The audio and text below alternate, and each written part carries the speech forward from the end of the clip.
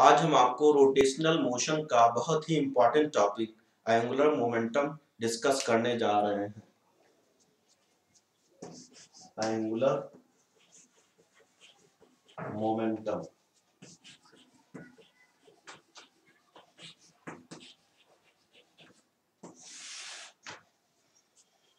जैसे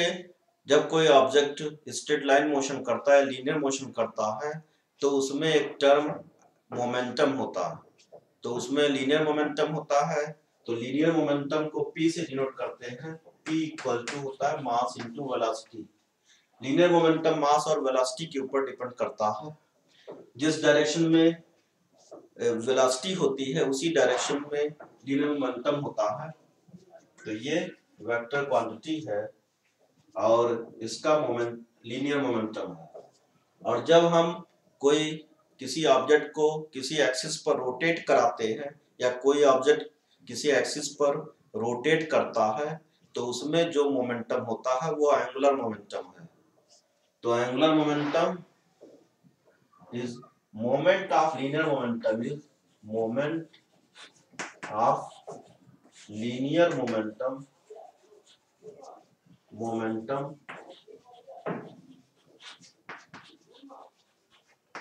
is angular momentum angular momentum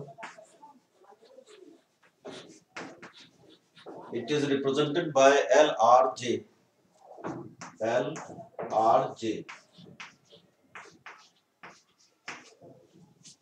तो L equal to हम ऐसे लिख सकते हैं R cross P this is derive formula this is most important relation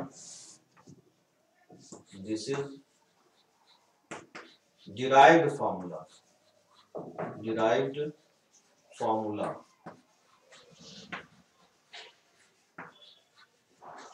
इसमें where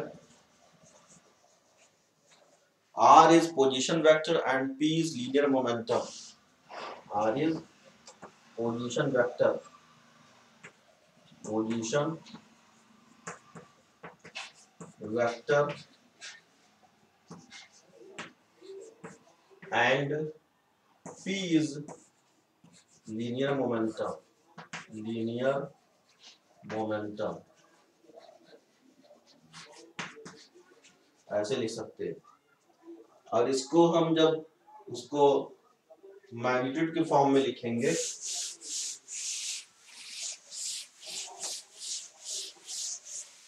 मैग्नेटेड के फॉर्म में इसमें L equal to L equal to ये एम वी आर लिखते हैं एम वी आर अब ये फॉर्मूला कैसे डिराइव किया गया है according to according to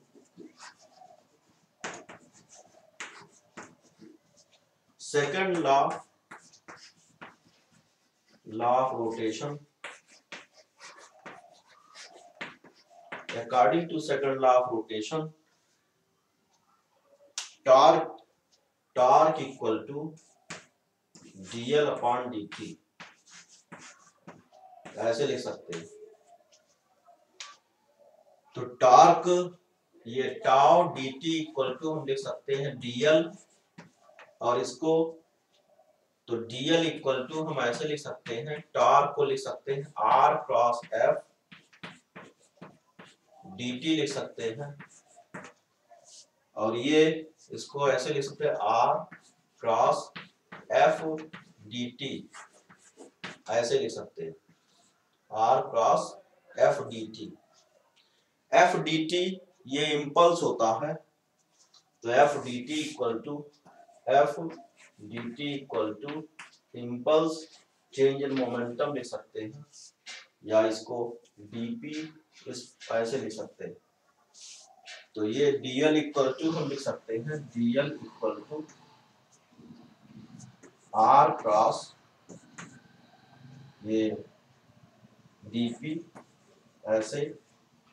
तो l इक्वल टू हो जाएगा l को लिख सकते हैं r cross p this is derived formula day to day life में एंगुलर मोमेंटम का एग्जांपल जैसे कोई टॉय है और वो अपने एक्सिस के अबाउट रोटेट कर रहा है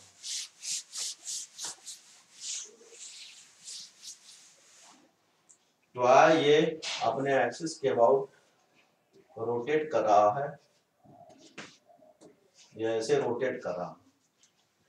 तो ये जब रोटेट करता है आपने देखा होगा कि जैसे कोई ट्वेल्स किसी एक्सेस के अबाउट रोटेट करता है तो वो बैलेंस कंडीशन में होता है और जैसे ही उसका रोटेशन रुक जाता है वो गिर जाता है उसका रीजन होता है एंगुलर मोमेंटम नेक्स्ट जैसे कोई एग्जांपल है जैसे बाइक है और चलती ही बाइक पर हम पैर ऊपर कर लेते हैं लेकिन जब बाइक रुकी हुई होती है तो उस कंडीशन में पैर ऊपर नहीं कर सकते बाइक गिर जाती है तो ये एंगुलर मोमेंटम की वजह से होता है जब चल रही होती है बाइक तो उस कंडीशन में एंगुलर मोमेंटम कंजर्व होता है तो इसमें जब external force conservation of angular momentum इसके बाद पहले बताएंगे इसके बाद बताएंगे पहले हम आपको एंगुलर मोमेंटम इसका ये वेक्टर होता है और इसका डायरेक्शन कैसे फाइंड करते हैं ये सब के बारे में डिस्कस करने जा रहे हैं तो ये वेक्टर क्वांटिटी है वेक्टर दूसरा पॉइंट है ये इसका SI unit SI unit kilogram metre square per second इसका एसआई यूनिट होता है ये दूसरा पॉइंट है और एंगुलर मोमेंटम को L equal to M V R या M V R sine theta ये ऐसे लिख सकते हैं और इसमें डायरेक्शन भी होता है ये वेक्टर क्वांटिटी ऐसे हम लिख सकते हैं या इसको L equal to M V R sine theta भी लिख सकते हैं अब इसको डा, इसका डायरेक्शन कैसे फाइंड करते हैं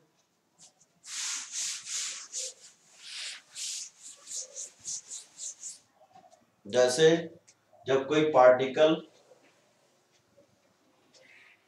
जब कोई पार्टिकल इसका रेडियस आर है और जब कोई पार्ट ये पार्टिकल है इसका मास एम है ये पार्टिकल ऐसे वी वेलासिटी से मोशन कर रहा है और इसका एंगुलर जो वेलासिटी है वो ओमेगा है तो इस कंडीशन में इसका angular momentum L equal to L L equal to ये हो जाएगा एम वी आर और इसका direction linear momentum linear momentum P equal to M होता है और इसका डायरेक्शन देखो जो हैंड को ऐसे ले जाएंगे और वेलोसिटी के कर्व डायरेक्शन में इसका डायरेक्शन आउटवर्ड होगा जब पार्टिकल अपवर्ड डायरेक्शन इस तरीके से मोशन करता है तो जो एंगुलर मोमेंटम का डायरेक्शन है वो आउटवर्ड और जब पार्टिकल जब पार्टिकल ये जैसे कोई ये पार्टिकल है इसमें एक पार्टिकल है और वो किस डायरेक्शन मोशन कर रहा है और इसका आर इसका रेडियस है और इसका एंगुलर वेलोसिटी ओमेगा है तो उस कंडीशन में इस ये डाउनवर्ड डायरेक्शन में इसका मोशन होगा जो एंगुलर मोमेंटम का डायरेक्शन होगा वो डाउनवर्ड डायरेक्शन होगा इनवर्ड होगा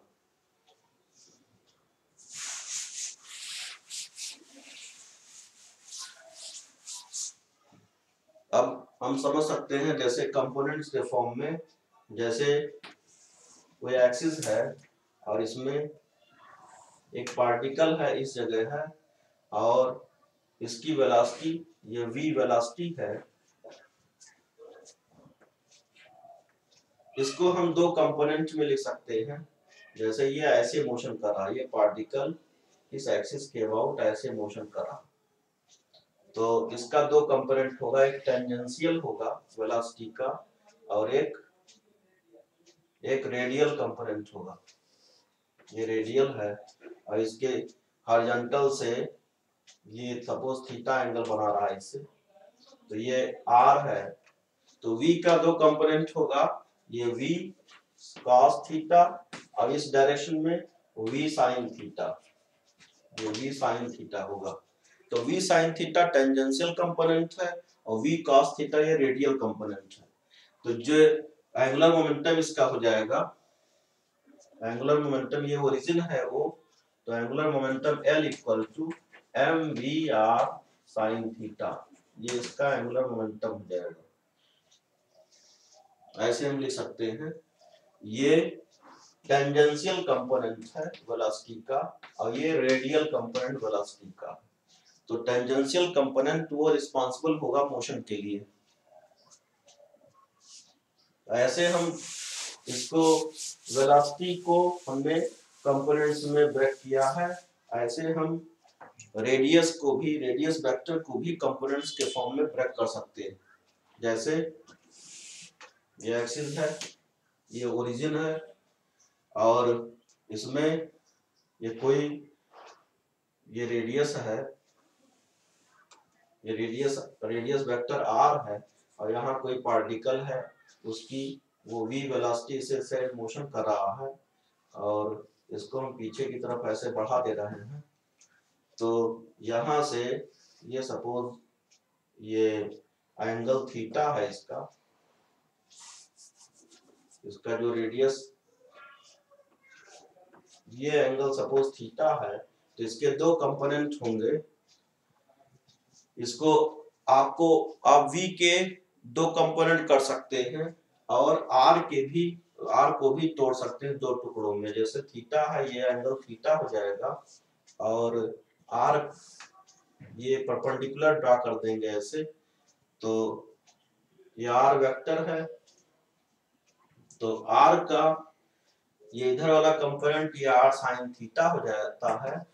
और साइन थीटा और ये आर कॉस थीटा होता तो इसमें आर साइन थीटा और ये आर कॉस थीटा तो आर को हमने दो टुकड़ों में तोड़ लिया एक आर साइन थीटा ये परपेंडिकुलर है और आर कॉस थीटा तो इसको हम जो इस इसका एक पार्टिकल है उसका मास एम है और वो वो ऐसे रोटेट कर रहा है इस फॉर्म में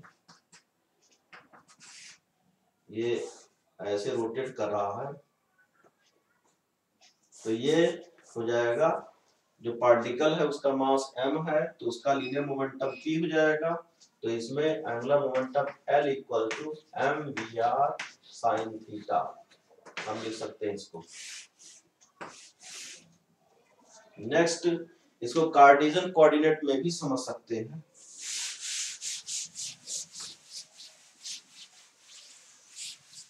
जैसे एंगुलर मोमेंटम को कार्टिजन कोऑर्डिनेट में तो L equal to L equal to R cross P होता है आर पोजीशन वेक्टर है तो उसको टू डायमेंशन में हम लिख सकते हैं I X plus J Y एक एक्स कंपोनेंट है और एक वाई कंपोनेंट तो पी को भी हम दो डायमेंशन में लिख सकते हैं I P X x component plus j p y. This is y component. और angular momentum L equal to हम ऐसे लिख सकते हैं I l x plus J l y. ऐसे लिख सकते हैं तो इसको हम जैसे L equal to होता है ये I R cross P तो R, की जगह I x plus j y ये लिख सकते हैं across I P X plus J P Y ऐसे ले सकते हैं अगर क्रॉस प्रोडक्ट लेते हैं तो ये हो जाता है आई क्रॉस आई की वैल्यू जीरो होती है आई क्रॉस जे के हो जाएगा तो वाई ये पी वाई हो जाएगा तो वाई पी ये हो जाएगा पी वाई को एक्स को इससे मल्टीप्लाई करो Y J cross I equal to J cross I equal to minus K होता जैसे आई जे के हम इस फॉर्म में आई जे के तो जे क्रॉस आई ये इस तरीके से ऐसे बना सकते हैं तो ये हो जाएगा I cross J equal to K J cross I equal to minus K तो इस जगह हो जाएगा ये Y P X Y P X और ये माइनस के हो जाएगा और इसको इससे मल्टीप्लाई करेंगे तो प्लस एक्स पी वाई और ये के वेक्टर हो जाएगा तो इसमें एल एल का कंपोनेंट ये इस तरीके से लिखा है तो इसमें जो एंगुलर मोमेंटम है उसमें एक्स जो एक कंपोनेंट उसका एक यूनिवर्स डायरेक्शन में इसका दोनों दो दो कंपोनेंट है तो एक्स पी वाई ये तो डायरेक्शन आउटवर्ड होगा एंगुलर मोमेंटम का डायरेक्शन आउटवर्ड है और ये वाई पी एक्स ये इनवर्ड डायरेक्शन है तो इसमें दोनों को ऐसे भी लिख सकते हैं X P Y minus Y P X और ये K unit vector K unit vector ये एल लिख सकते हैं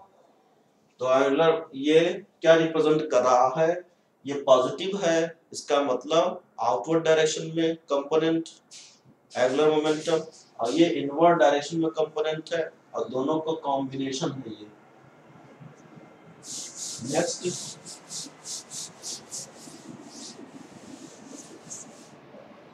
conservation of angular momentum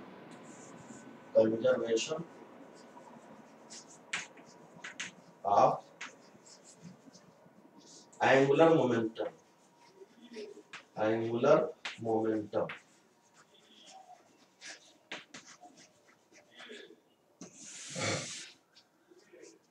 if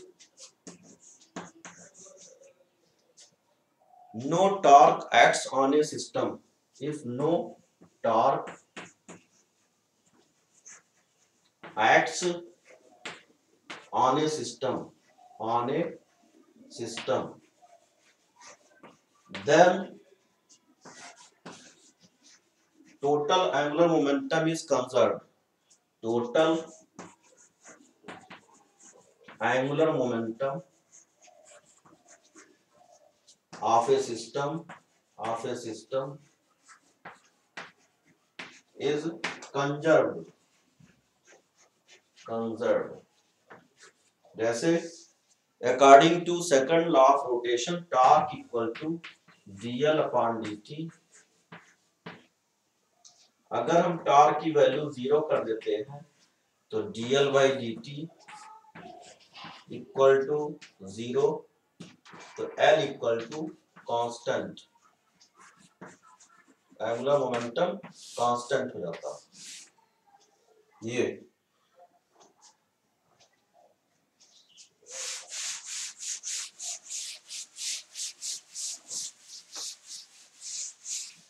जैसे हम इसको प्रूव कर सकते हैं L equal to I omega ऐसे ये प्रूव कर सकते हैं तो आप जानते हैं according to second law of rotation L equal to जैसे F equal to M A होता है वैसे हम लिख सकते हैं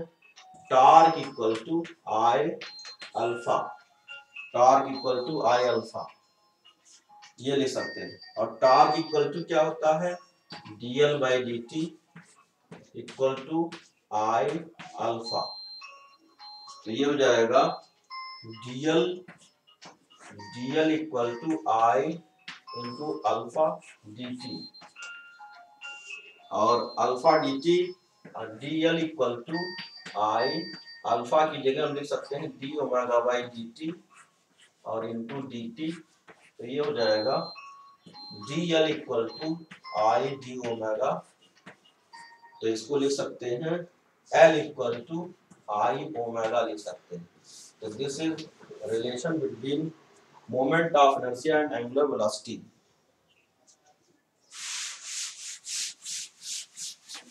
जब एक्सटर्नल फोर्स की वैल्यू जीरो होती है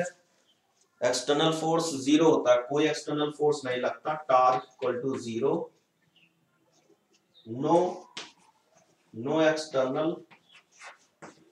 external torque torque is applied no external torque is applied so then 0 equal to dl by dt l equal to constant और इसकी जगह हम आई ओमेगा लिख देंगे I omega equal to constant तो इसमें ऐसे लिख सकते हैं I O one omega one equal to I two omega two ऐसे लिख सकते हैं मतलब जैसे किसी ऑब्जेक्ट की अगर मोमेंट ऑफ इनर्सिया ज्यादा है तो उसका एंगुलर वेलोसिटी कम होता है और किसी ऑब्जेक्ट का अगर